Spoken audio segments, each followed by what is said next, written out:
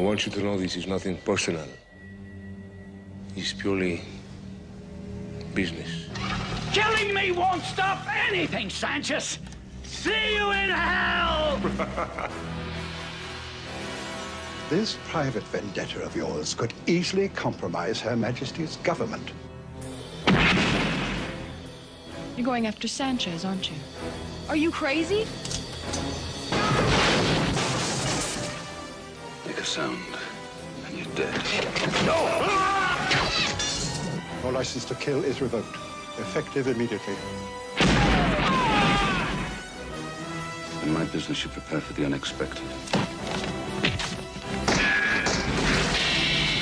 Problem solved. I'm more of a problem eliminator.